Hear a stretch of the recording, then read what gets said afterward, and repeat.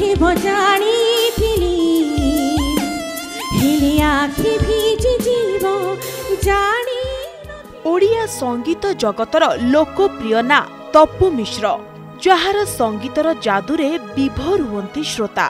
ଦର୍ଶକଙ୍କୁ ବାନ୍ଧି ରଖିଥିଲା ତାଙ୍କର ସୁମଧୁର ସଙ୍ଗୀତ। ଓଲିଉଡ୍ ଇଣ୍ଡଷ୍ଟ୍ରିରେ ବନାଇଥିଲେ ନିଜର ସ୍ୱତନ୍ତ୍ର ପରିଚୟ। ଏମିତି ଅନେକ ଗୀତ ଗାଇ ଶ୍ରୋତାଙ୍କ ହୃଦୟରେ ରାଜ କରିଛନ୍ତି ତପୁ ମିଶ୍ର।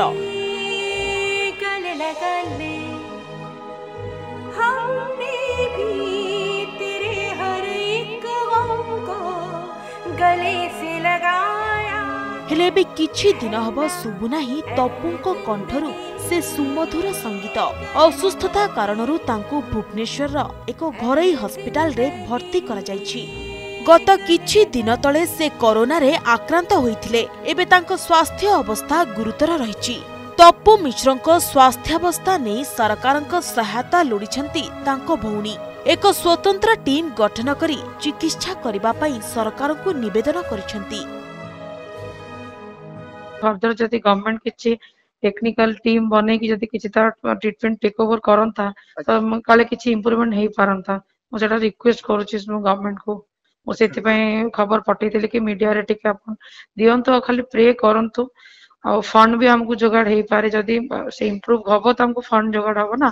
ଗୋଟେ ଟେକ୍ନିକାଲ ଟିମ୍ ଯୋଉ କରିକି ତା ଟ୍ରିଟମେଣ୍ଟ ହବ ସେଟା public figure she is a very good human being ସମ୍ବଲପୁରରେ ଜନ୍ମ ଓ ପାଠ ପଢ଼ା ତପୁଙ୍କର। ଜିଏମ୍ କଲେଜରେ ପାଠ ପଢ଼ିବା ପରେ ସଙ୍ଗୀତରେ ନାଁ କରିବା ପାଇଁ ପହଞ୍ଚିଥିଲେ ଭୁବନେଶ୍ୱରରେ। ଫିଲ୍ମ କୁଳ ନନ୍ଦନରୁ ନିଜ ସଙ୍ଗୀତ ଜୀବନ ଆରମ୍ଭ କରିଥିବା ତପୁ ମିଶ୍ର ଆଉ କେବେ ପଛକୁ ଫେରି ଦେଖିନାହାନ୍ତି।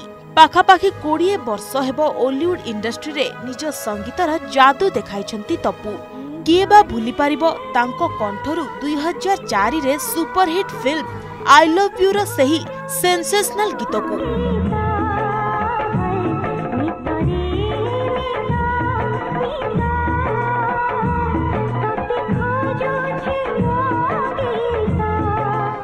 ତପୁ ମିଶ୍ରଙ୍କ ଗୀତ ଯେତିକି ସୁନ୍ଦର ତାଙ୍କ ହୃଦୟ ମଧ୍ୟ ସେତିକି ସୁନ୍ଦର। ସବୁବେଳେ ଉତ୍ତମ ଆଚରଣ ଓ ଅନ୍ୟକୁ ସ୍ନେହ ଦେବାରେ ଆଗରେ ଥାନ୍ତି ତପୁ। ତପୁ ମିଶ୍ରଙ୍କ ଗୀତ ଓଡ଼ିଆ ସଙ୍ଗୀତ ଜଗତ ପାଇଁ ଏକ ବରଦାନ ସଦୃଶ୍ୟ ବର୍ତ୍ତମାନ ସେ ଆଇସିୟୁରେ ରହି ଚିକିତ୍ସିତ ହେଉଥିବା ବେଳେ ତାଙ୍କର ଆଶୁ ଆରୋଗ୍ୟ କାମନା କରିଛନ୍ତି ତାଙ୍କର ଅଗଣିତ fan. Bureau report Argus news.